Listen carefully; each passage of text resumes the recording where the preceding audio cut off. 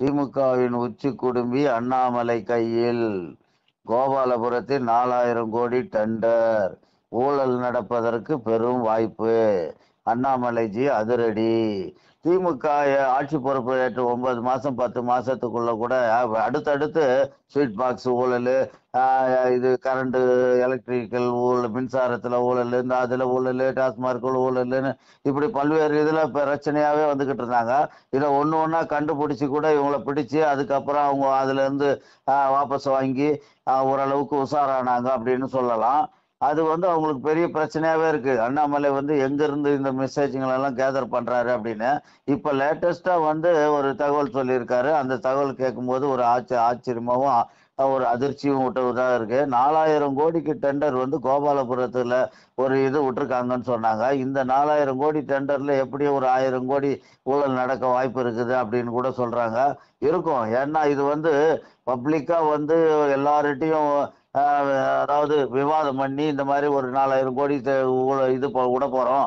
அப்படி இப்படின்னு சொல்லி எந்த விவாதமும் இல்லாம எந்த வித விழிப்புணர்வும் இல்லாம அவங்களே தக டகட நாலாயிரம் கோடிக்கு விட்டதா ஒரு சீக்கிரட்டா ஒரு டெண்டரை விட்டுட்டாங்கன்னு கூட சொல்றாங்க இதுக்குள்ள வந்து எந்த அளவுக்கு டுவெண்ட்டி ஃபைவ் பர்சன்ட் கமிஷன்னா ஆயிரம் கோடி வந்துடும் இல்லை ஒரு டுவெண்ட்டி பர்சன்ட்னா கூட ஒரு எட்நூறு கோடி அப்படி வந்துடும்ன்றாங்க இதை வந்து ஆராய்ச்சி பார்த்துக்கிட்டு இருக்கிறாரு அவர் அண்ணாமலை. இதனுடைய நிலைமை என்ன எப்படி போகுது இது எங்க இருந்து போகுது இது யார் எடுத்தது அதனுடைய உண்மையான வேல்யூ என்ன அப்படின்னு சொல்லி இது எக்ஸ்பர்ட்டுங்களை வச்சு இதை கண்டுபிடிச்சு அந்த இதை வந்து வெளியே கொண்டாடுவாரு. அதுக்குள்ள திமுக வந்து என்ன உஷாராயிடுமோ இல்லைன்னா அதை வந்து வாபஸ் வாங்கிடுமோ. ஏன்னா ஏற்கனவே பல திட்டங்களில் வந்து இதில் ஊழல் அப்படின்னு அந்த திட்டத்தை அப்படியே வாபஸ் வாங்கிடுவாங்க. அது மாதிரி தான் இந்த மின்சாரத்துலேயும் சரி ஸ்வீட் பாக்ஸ்லேயும் சரி இன்னும் ஒன்றுக்கு மேற்பட்ட விஷயத்துலையும் இப்படி தான் நடந்திருக்கு.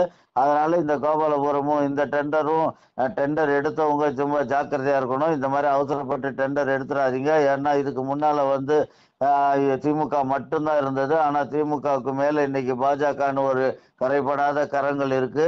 அது வந்து இந்த ஊழல்களை சுட்டி காட்டினா அந்த டெண்டர் நின்று போகிறதுக்கு வாய்ப்பு இருக்கு.